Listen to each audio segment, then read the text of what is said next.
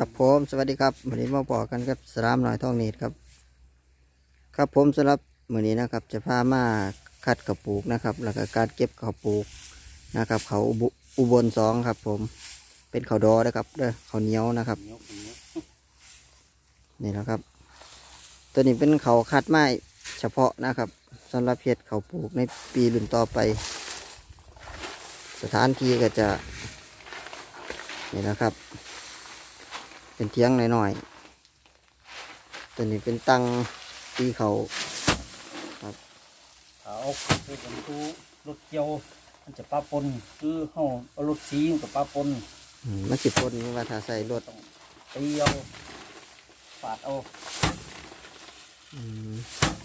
ตะบอกเกมเฮาบริสุทธิ์กับปูกนี่จำบอกแกมครับนี่เลือดตัดเลือดเอา ตัวนี้ก็คือตัวแล้วแล้วเอาออกไปแล้วตัดเอามันตรงต้องต้องเลือกออกแตะละโกนอีกที่หนึงอยู่บ่ตัวนี้ๆเรียกเตละโคนมาแล้วนี่เรียกแต่แต่แต่ต้นต้นกอมันครับห่วงกับบ่สันบ่ยาวมันมันสีเป็นเสมอกันครับเสมอกันนะครับอ่าเขาไปเอารถเกี่ยว รถก็จะเข้าเกี่ยวเขายังมาในบันอืมมันก็เลยเห็ดพันธุ์บริผลอ๋อเขาเกี่ยวเขาวเหนี้ยวคืออะเขาจะเกี่ยวเขาวเจ้ามาแล้วตัวนี้ใส่เวลาดนบ่นี่ครับเพื่อสิแล้วนี่ครับกับพอดนมือนึงแล้วอืมกระเทียมอีนี่ก็มือเดียวเออเก็บมือเดียวเดี๋ยวเอาไปตากอีกว่าบัดนครับบ่ได้ตากบ่ได้ตากเพราะว่าเขาตากเป็นแต่ดีเกี่ยวเขาเกี่ยวเขาเกี่ยวมือตากน้ำทุ่งหน้าแล้วเออเขาเกี่ยวมือเลยเขาบ่ตากอีกก็จะมีเดี๋ยวเขาไปใส่ไม่กวาดกวาดม่วนออกแม่นบ่ม่วนมันบ่เป็นไอ้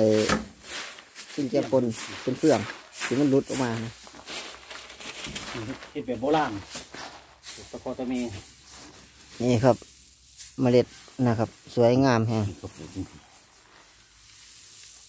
เม็ดตรงดีครับบ่ค่อยมีเม็ดหลีบ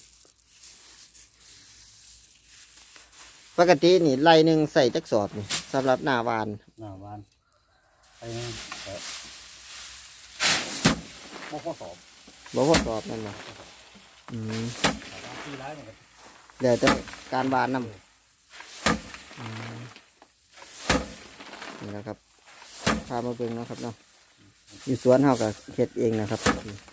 พันเขาห้องคิดเองพันเขาเก็บเองคิดเองสำหรับเขาดอเขาอุบลสอนนี่ถ้าแม่นบ่เก็บมันสิแกมทุกปีแมันบ่มันสิแกมหลายขึ้นไปเรื่อยเกมไปเรื่อยๆมันก็สิต้นสูง